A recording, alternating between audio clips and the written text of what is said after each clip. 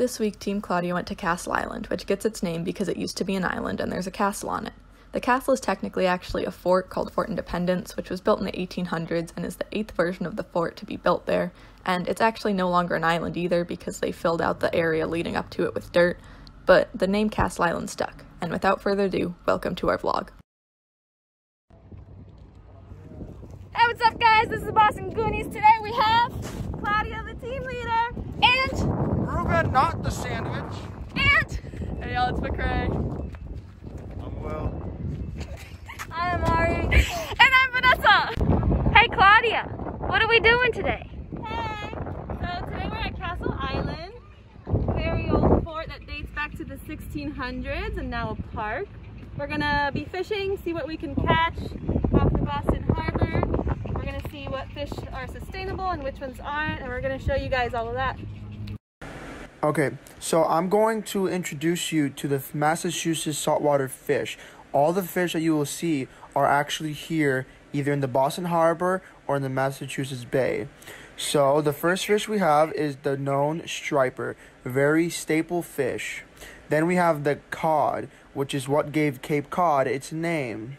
Then we have a haddock, pollock, black sea bass, bluefish, porgy, tautog, bluefin tuna, bonito, yellowfin tuna, scup, summer flounder, and winter flounder. There are also two sharks located in the bay that are the shortfin mako and the bluefish.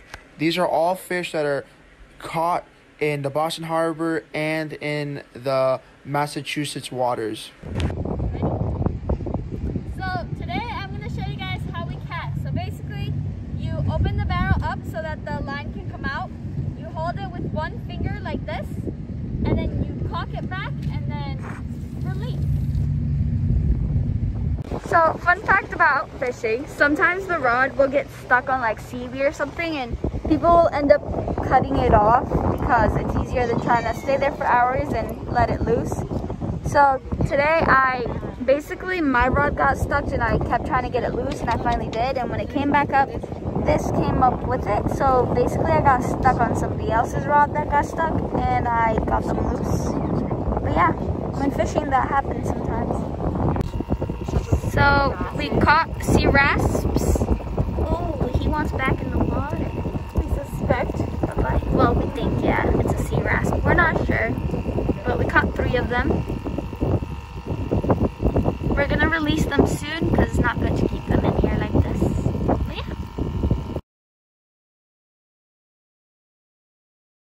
Hey Claudia, what do we have here on the bucket? Um, so what this little gadget does is basically just water, keeps it moving. Um, that way when you catch your friends, um, they have a little bit of a more oxygenated environment. Um, yeah, we'll just pump some air in there. Just see the bubbles. Just oxygenate the water a little bit more. It reduces levels of stress for fish or crab. Um, as you know, when you catch them, they're kind of freaking out. That causes an increase of stress, and this kind of helps that out. So with the crab trap, what we do is we tie it up to the fence, nice and tight, and then Ari is gonna yeet it into the water. Yeet! And it's better to put it like near the bridge or under the bridge, just because crabs really like to stay under bridges. I don't know why, but yeah, that's the beautiful sight that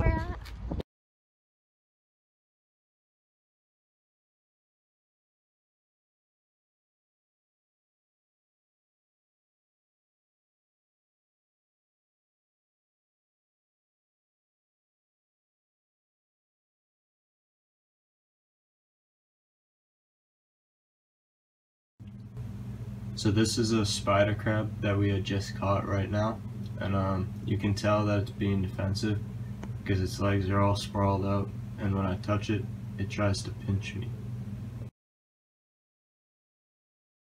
Hey there everybody, today is day two of being on Castle Island and today we are doing drawings of fishes that you can find in the Boston Harbor or Massachusetts.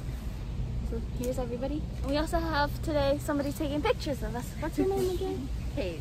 This is Kate. Hi. She officially takes our pictures. to save the harbor. Hello, my name is Ariana. We're gonna be talking about the minnow fish. Um, so first we have the operculum. Um, that's this part over here where it's like where the gill is. Then over here the gills, um, where where helps the fish breathe.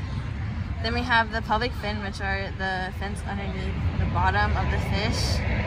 Then we have the regular fin on top and the lateral line of like on the fish's body.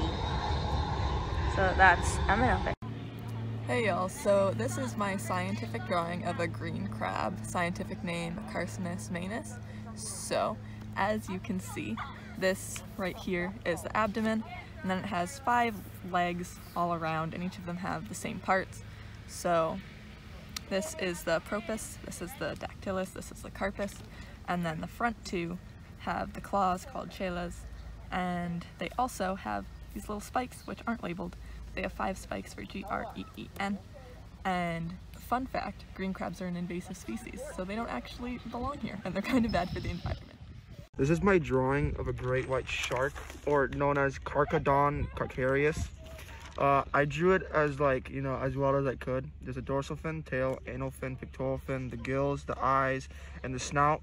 Specifically, it's called the ampullae Lorenzini. It's how they can detect um, the electrical pulses of a like the fish they eat and stuff and it's really useful for them to hunt uh, down animals and they can also smell like a drop of blood in like a million gallons of water it's quite impressive So this is my scientific image of a black sea bass, also known as its scientific name by Centropristis striata. Not really sure how to say that, but yeah. Um, so these are its parts. Its lower jaw. It has its snout and its nostril, its eye. This is its cheek. This is its maxillary bone. Its operculum, I think that's called. Its pelvic fin, um, pectoral fin. This is its um, spiny dorsal fin, so it has, it's like pokey. This is the soft dorsal fin, so it's not pokey. Its tail that is used to swim, and its anal fin. Yes, anal fin. And that's because it's next to its bum, so that's why it's called that. But yeah.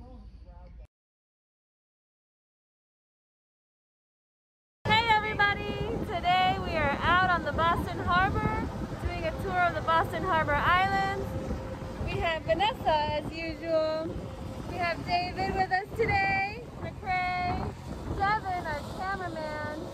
Here we have Will, Ari, Ruben being entertained. As you see behind me, we have a view of Chelsea, Boston over here, Charlestown on my right. And we'll check back in with you later.